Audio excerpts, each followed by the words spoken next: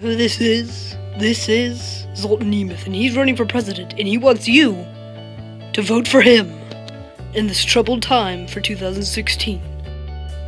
He is a skilled businessman with many other qualities, and I believe America would be lucky to have such a great president. He's not only an amazing businessman, he is also a baby kissing, cat throwing sign of authority with justice that also owns a guitar and pushes babies. Remember, if I win, America loses. Vote for me, Zoltan Nemeth.